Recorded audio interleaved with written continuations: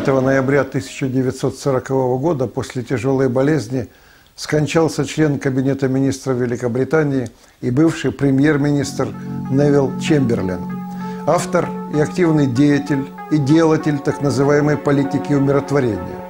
Кого тогда умиротворяла Великобритания? В основном Германию Гитлера, Италию Бенита Муссолини, иногда Испанию Франциско Франко. Несомненно, что Гитлер обрел уверенность в себе и военные крылья – после того, как Чемберлен позволил Германии в два приема проглотить хорошо вооруженную, готовую к обороне Чехословакию. После этого Гитлер уже был неудержим. Чемберлен, правда, надеялся, что нацистская Германия, усиленная чешским оружием и чешскими военными заводами, немедленно двинется на восток. Но Гитлер обманул Чемберлина, как он обманывал британского премьера вплоть до его отставки 10 мая 1940 года. До сих пор бытует мнение, что все промахи Чемберлина связаны с настойчивым желанием во что бы то ни стало сохранить мир. Это миротворчество является одним из крупнейших мифотворчеств в истории Второй мировой войны. Мне неизвестен ни один английский премьер-министр, который боролся бы за мир в ущерб британским интересам. Невил Чемберлен – один из тех, кто создавал все условия для военного пожара в Европе и гибели миллионов людей – при этом он близоруко полагал, что огонь войны не доберется до Великобритании, и она, как всегда, возьмет послевоенный роль в свои руки. В 1938 году, решающим для ответа на вопрос, быть или не быть большой войне, английский премьер так говорил о Чехословакии. «Это далекая страна, которую мы мало знаем». Далекую страну любезно предложили Гитлеру. Точно так же был далек от Чемберлина и Советский Союз – но в 20 веке на нашей планете уже не было далеких стран –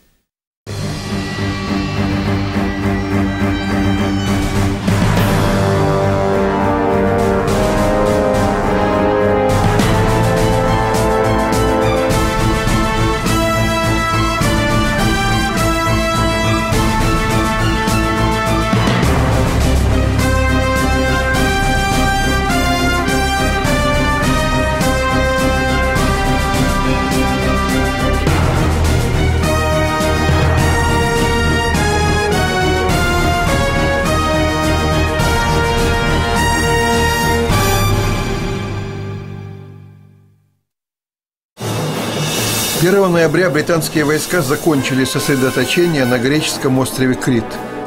Гитлеру пришлось задуматься о перспективах появления театра военных действий на Балканах. С другой стороны, англичане лишили себя возможности наступления в Северной Африке, потому что войск для двух фронтов Греции и Северной Африки у них явно не хватало. Греческие войска перешли в хорошо подготовленное наступление против напавших на Грецию итальянцев – Особенно умело действовали греческие артиллеристы. После нескольких встречных сражений в горах, проигранных итальянцами, больших потерь, темпы их бегства стали расти в геометрической прогрессии. Начальник германского генштаба генерал Гальдер записывает в дневнике «Италия не имеет выдающихся генералов». Середина ноября запись в дневнике министра пропаганды Геббельса. Греки воюют уже на албанской земле – Итальянцы сели в лужу. Тягостное положение для нас. Именно в эти дни в Берлине был очень популярен следующий анекдот.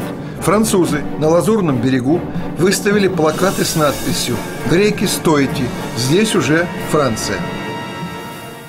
Испания 4 ноября высадила свои войска и взяла на себя управление африканской зоной и портом Танжер. Это насторожило англичан.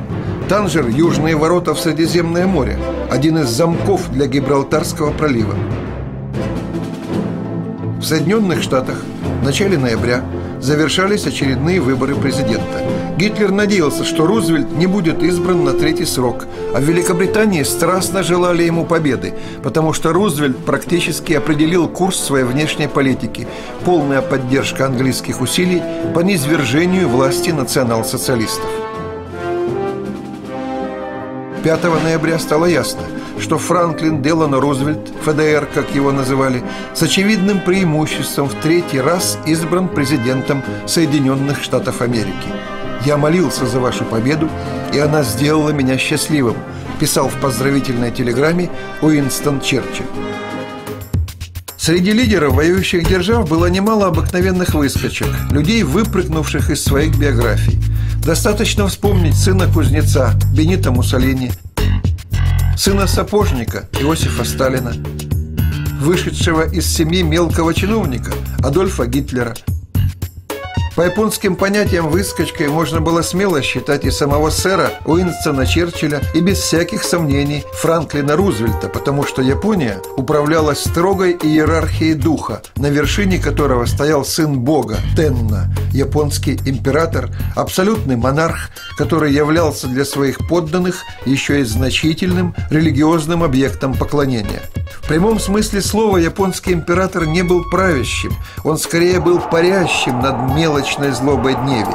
Император не участвовал в политической жизни, его нельзя было видеть.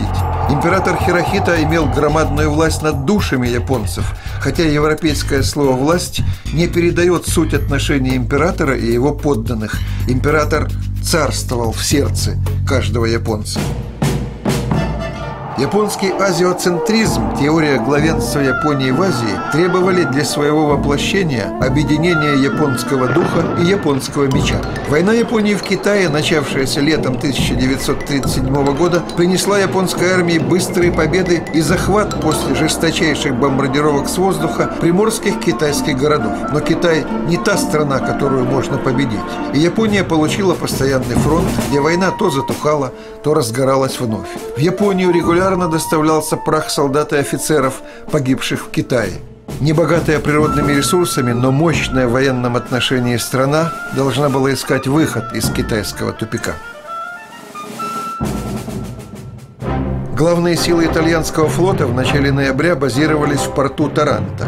В ночь с 11 на 12 ноября английская авианосная авиация добилась своей самой крупной и незабываемой победы – на итальянских кораблях не было радаров, не было их и в порту.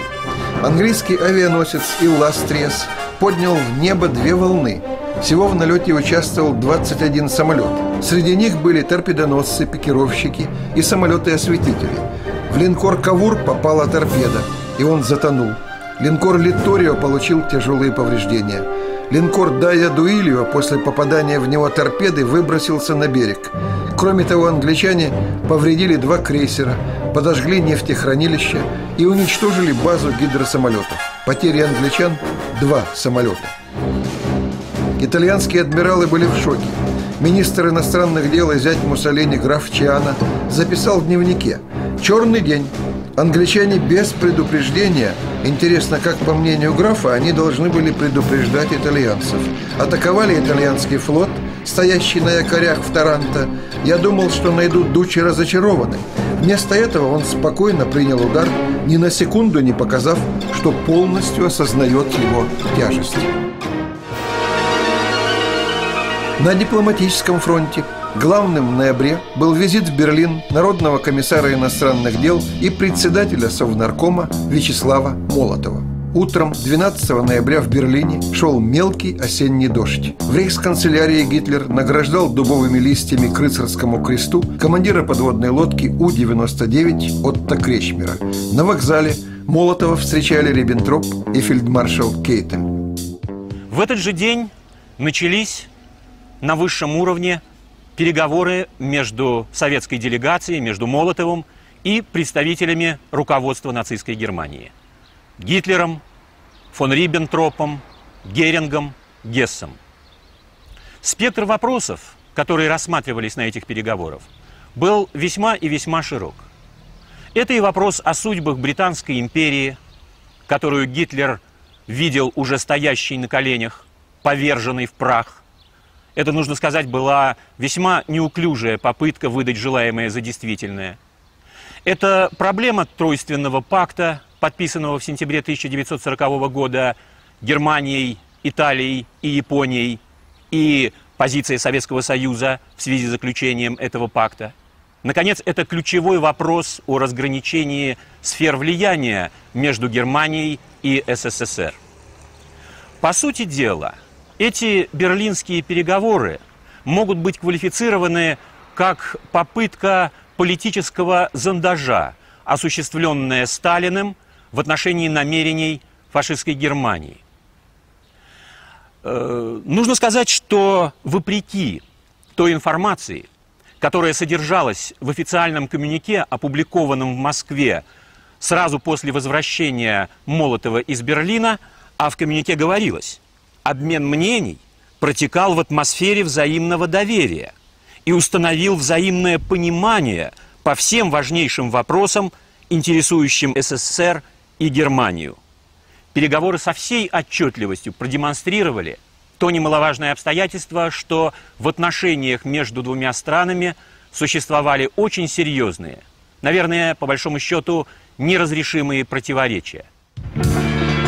Молотов прибыл в Берлин с вполне конкретными вопросами. Советский Союз беспокоило очевидное присутствие германских войск в Румынии, Болгарии и Финляндии, входящих в сферу интересов СССР. Не устраивало советское правительство и соглашение об использовании Черноморских проливов, которые в любой момент могли быть закрыты. У Молотова были точные конкретные инструкции от Сталина, и он строго следовал им.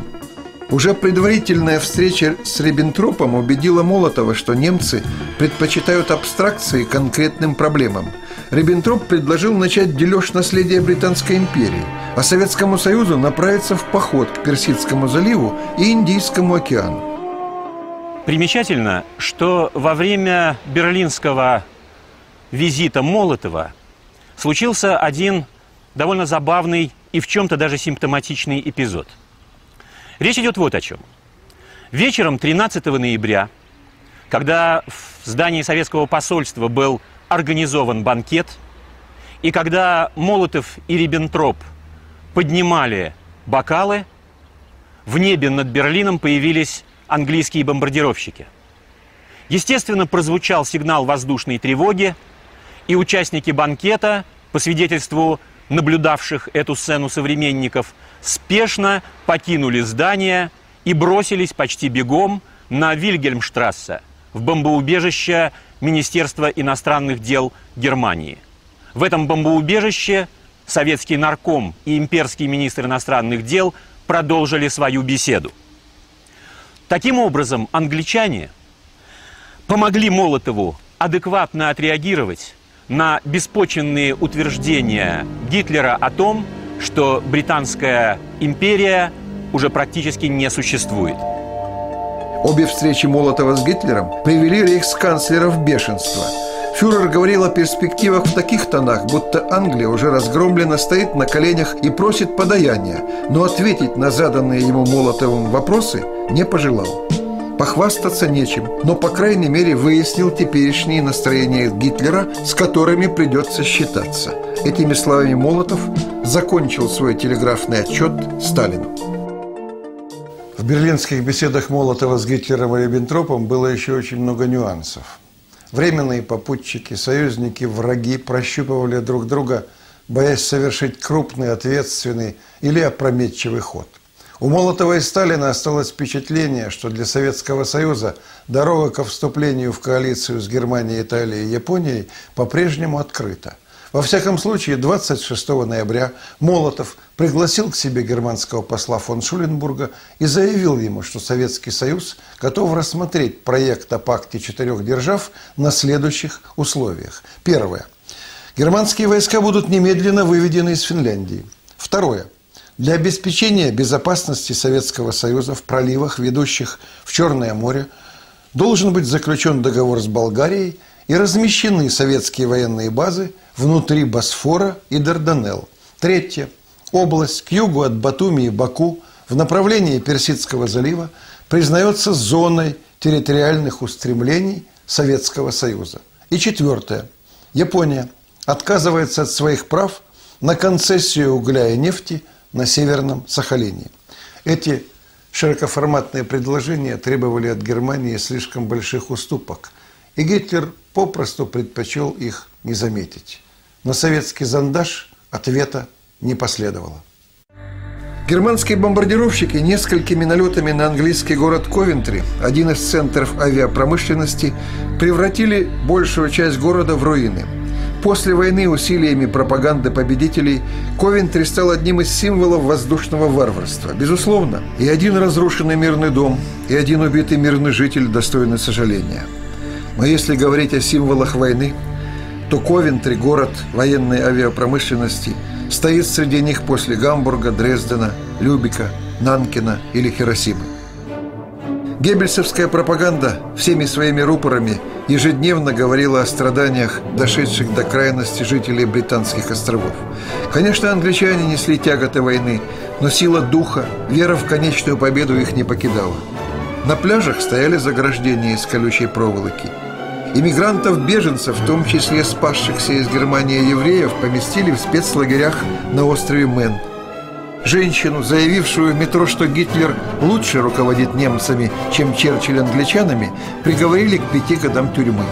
Ополченцы проводили ежедневные тренировки по отражению немецкого вторжения – во время танцев в противогазах убивали сразу двух зайцев, учились дышать в масках и отдыхали. Невиданный энтузиазм был проявлен при сдаче металлолома. Многие лишились домашних сковородок, полагая, что если не самолеты, то уж танки из сковородного металла сделать можно. Отмечался и всплеск интереса британцев к классической музыке. Никогда, пожалуй, в истории Великобритании Гендель, Гайден или Моцарт не получали в душах суровых британцев такого искреннего отклика – Умирать, видимо, приличнее под классическую музыку, чем под всякую ерунду.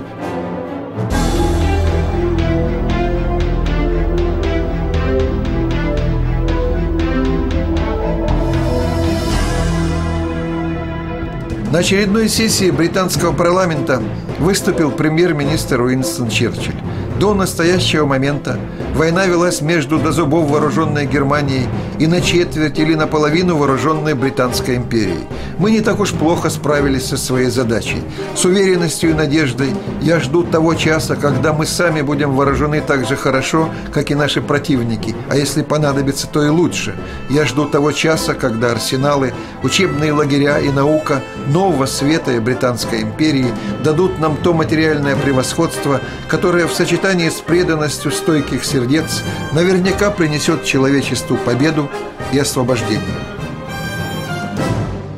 В 20-х числах ноября в Тройственный пакт вступили Венгрия, Румыния и Словакия. Болгарский царь Борис III во время встречи с Гитлером в Берхофе дал обещание присоединиться к державам оси в подходящий момент. Болгарский монарх ссылался на общественное мнение и опасность потерять престол. Во время ноябрьских переговоров 1940 года Молотова в Берлине одной из серьезных проблем оставалась проблема Финляндии. Ведь маленькая северная страна незаслуженно избежала превращения в 16-ю Советскую Республику. Финская интеллигенция не познала на себе все особенности сталинского социалистического строительства, а крестьяне избежали мучительной коллективизации. Гитлер при всех оговорках признал права Советского Союза на Финляндию в соответствии с секретным дополнительным протоколом к пакту Молотова-Риббентропа от 23 августа 1939 года. 25 ноября 1940 года Народный комиссар обороны маршал Семен Константинович Тимошенко издал особую директиву, адресованную командованию Ленинградского военного округа. В соответствии с этой директивой предполагалось разгромить Финляндию силами двух фронтов – северного и северо-западного, в состав которых включалось более 50 дивизий. Целью войны по директиве Тимошенко должна была быть полная оккупация страны с занятием Хельсинки на 45-е сутки операции. Все подготовительные мероприятия в штабе Ленинградского военного округа должны были быть завершены к 15 февраля 1941 года. В директиве Тимошенко интересно следующее. Всего 8 месяцев спустя, после окончания Зимней войны, в перечне потенциальных союзников Финляндии, которые могли оказать ей вооруженную помощь, отсутствовали Великобритания и США, в то время как перечне потенциальных противников Советского Союза, которые могли выступить на стороне Финляндии, указывались Швеция, Норвегия и, что особенно для нас интересно, Германия. А ведь для утверждения плана Барбаросса оставался еще целый месяц. Гитлер в письме к Муссолини предложил Дучи несколько дивизий для помощи итальянцам в Северной Африке и настоятельно рекомендовал захватить британскую базу на острове Мальта – Гитлер также давал дружеские советы по поводу неудач Италии в войне против Греции, а в заключение предложил Муссолини использовать на Средиземном море один германский авиакорпус. В немецком генштабе участие своих войск в боях в Северной Африке считали делом рискованным. Генерал Гальдер записал в дневнике «В оперативном отношении опасно отправлять немецкие войска за море, на котором мы не имеем господства, при наличии такого союзника, который не будет готов бросить свои последние силы, чтобы обеспечить безопасность судоходства по этому морю». В отличие от генералов, Гитлер понимал, что поражение Италии в Греции и Африке вынуждают Германию к участию, хотя бы и в ограниченном масштабе, в войне на Балканах и на Средиземном море, потому что оттуда можно было легко угрожать нефтяным вышкам в румынском районе Плоешти. Чем занимался германский генеральный штаб в ноябре 1940 года? Конечно, прежде всего проработкой плана нападения на Советский Союз – обеспечением будущей операции на Востоке транспортом, местами расквартирования войск вторжения, организацией разведки приграничных советских районов. Кроме того, параллельно германские генштабисты работали над операцией «Феликс» по захвату британского Гибралтара. Составляли план отправки германских войск в Северную Африку на помощь итальянцам. Велась также работа над операцией против Турции, если она в будущем воспротивится проходу германских войск – через ее территорию для удара по Египту с востока.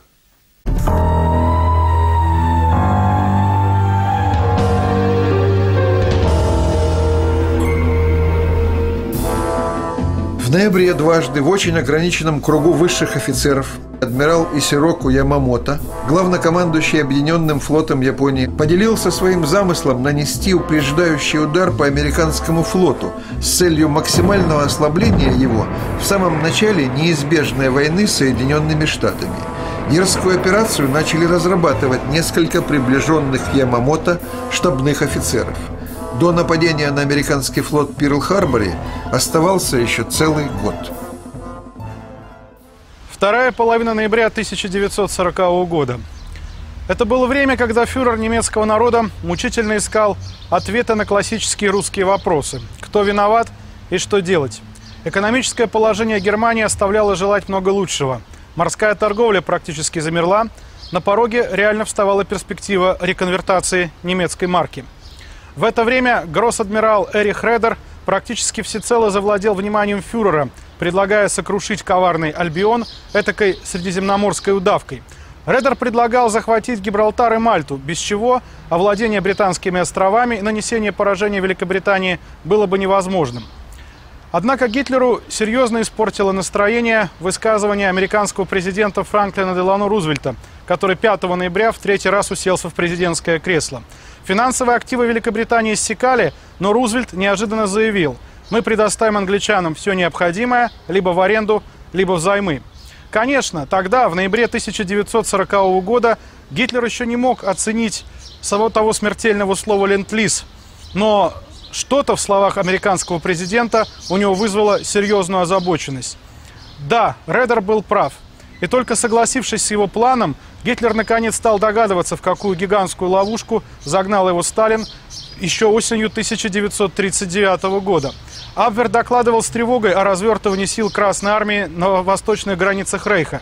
В ноябре 1940 года на восточных границах Рейха разворачивалось более 130 советских дивизий, включая более чем 15 танковых. На Гитлера это произвело очень сильное впечатление.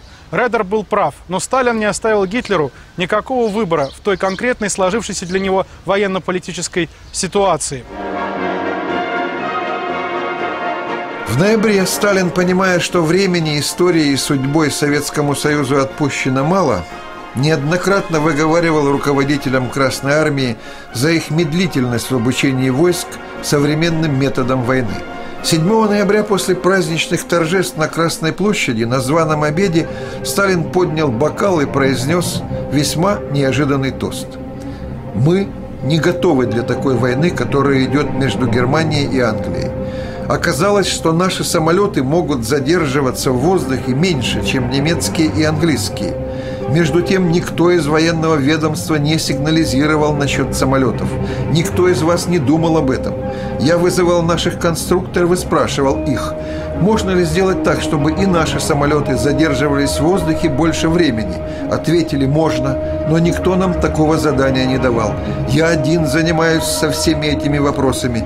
Никто из вас об этом и не думает. Я стою один. Но я вам покажу, если выйду из терпения. Вы знаете, как я это могу. Так ударю по толстякам, что все затрещит. Вот такая праздничная речь вождя.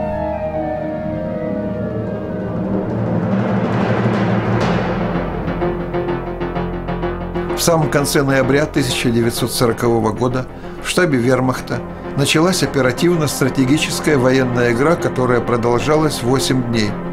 Германские генералы высшего звена проигрывали план кампании против Советского Союза. На картах танки стремительно прорывали оборону русских и устремлялись на Москву. Карты сулили успех.